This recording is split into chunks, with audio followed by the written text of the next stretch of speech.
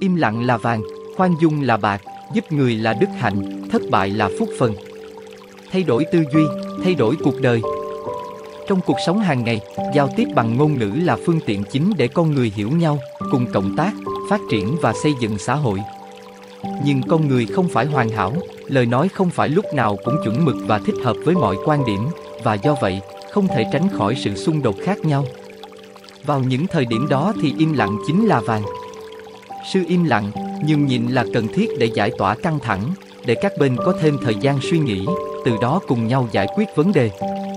Sự im lặng còn có một ý nghĩa khác, đó là thể hiện thái độ của bản thân, có giá trị ngang với cả ngàn lời nói.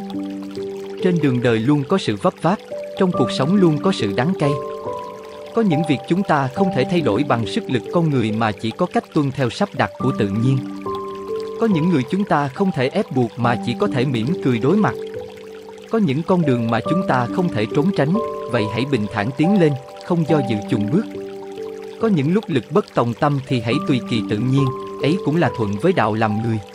Cuộc sống là vậy, khi trời không có nắng, hãy học được cách tận hưởng gió mưa, khi vườn không có hoa, hãy học cách cảm nhận hương thơm từ đất nước.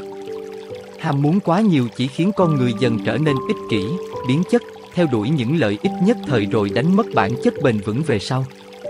Rồi một ngày, những thứ ích lợi chúng ta theo đuổi sẽ trở thành gánh nặng đè trên lưng, càng đi càng không chống đỡ nổi. Ngược lại, với một hành trang vừa đủ, chúng ta học được cách thông thả dạo bước, trải nghiệm và tận hưởng sự vui thích trong từng khoảnh khắc trôi qua. Nhìn bằng đôi mắt biết cười, chúng ta sẽ thấy phong cảnh đẹp hơn. Cũng như sống bằng tâm trạng giản đơn, chúng ta mới có thể nhận được nhiều niềm hạnh phúc giản dị. Đời người trăm ngàn sắc thái, nhưng thành thật, giản đơn lại là điều đẹp nhất. Cuộc sống như một tấm gương có thể phản chiếu lòng tử tế và sự phản bội, tính trung thực hay đạo đức giả, mỗi người một tâm thái. Cuộc sống cũng giống như một cuốn sách, hành động chân thành hay giả dối, song phản bản lĩnh hay ích kỷ vụ lợi, mỗi người một cách viết khác nhau. Mỗi người đều có một túi phúc của riêng mình, bạn cho gì vào trong thì sẽ thu được điều tương tự. Mỗi người cũng có một chiếc gương, bạn đối với gương như thế nào, gương cũng lại đối với bạn như vậy.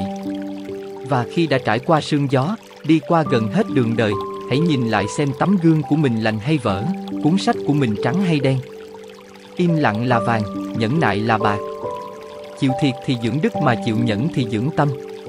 Càng trưởng thành, chúng ta càng học được cách nhường nhịn, khoan dung với bản thân, với người khác và với cuộc đời.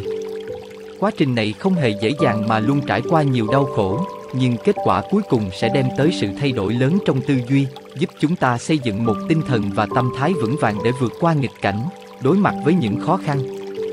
Đó là nền tảng trí tuệ sinh tồn, không yếu đuối, không trốn tránh mà luôn lấy lùi làm tiếng. Ngược lại, với kẻ quá giỏi tính toán, theo thói quen đó cũng là người việc gì cũng so đo tính toán. Cho dù bên ngoài họ thể hiện bản thân hào phóng thì bên trong nội tâm cũng chẳng bình yên. Ngay từ đầu, sự tính toán đã khiến họ mất bình tĩnh, mất ở mối rối ren của mỗi sự vật. Người thường xuyên mất bình tĩnh lại dẫn đến sự lo lắng nghiêm trọng. Người thường trong trạng thái lo lắng, không chỉ không có niềm vui, thậm chí còn là thống khổ. Đường đời muôn nẻo ít nhiều đều có trong gai.